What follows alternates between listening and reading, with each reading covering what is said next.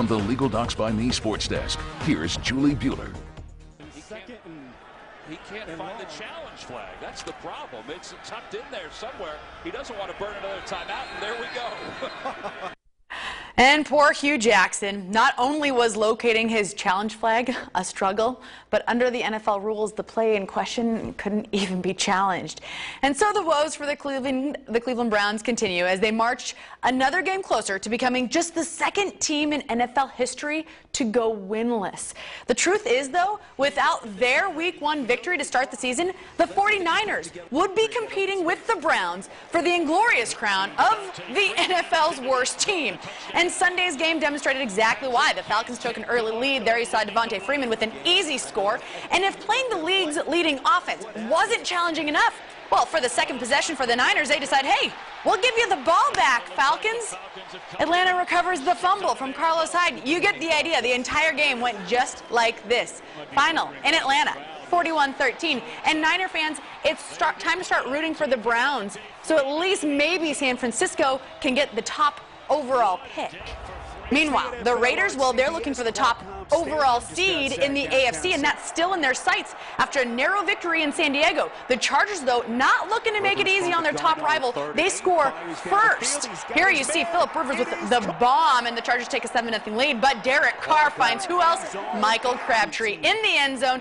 Game-tying touchdown, and then the megastar himself, Sebastian Janikowski, had four, count them, four field goals on the day. This one the game winner, 1916 the final. The Raiders clinched their first playoff berth since 2002.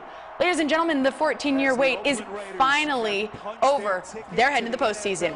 While the Raiders took care of their business, the Kansas City Chiefs still on the tiebreaker over the Raiders. So if these two teams finish with identical records, then the Chiefs will win their division. But Raider fans, you should be sending some extra Christmas cards to the Tennessee Titans because even minus nine degrees and even with multiple turnovers, the Titans overcame a 14-point deficit and eked by the Chiefs 19 to 17. So the Raiders are once again atop the AFC West. And Palm Desert's own DJ Alexander had four tackles for the Chiefs in that game. But with the loss, the Chiefs miss out on clinching their own playoff spot. At least they aren't eliminated from playoff contention, though. Four teams were today, namely the Chargers, sorry San Diego fans, the Eagles, the Cincinnati Bengals, and the Arizona Cardinals, who, gosh, last year played in the conference championship.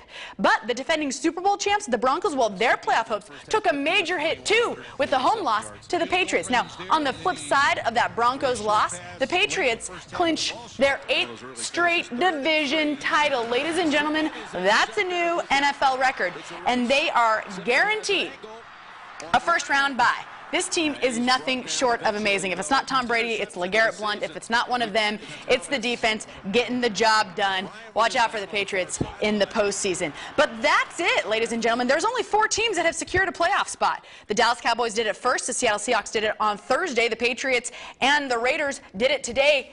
18, count on 18 teams still remain in contention. Now, the best part of the remaining weeks of this NFL season is that each game could impact another. For instance, the Packers, oh my goodness, this game was amazing to watch. Helped themselves by beating the Bears in dramatic fashion, 30 to 27. And the Packers also got assistance from the New York Giants, who beat the division leading Lions. Look at this catch by Odell Beckham Jr. Just amazing. That's why he uh, goes by ODB. That's all you need to know about him remarkable stuff. So the different games will impact the outcome of the entire NFL season, and there's a lot more to go, Ange. Two more weeks. Looking forward to it, Julie. Coming up next, we take you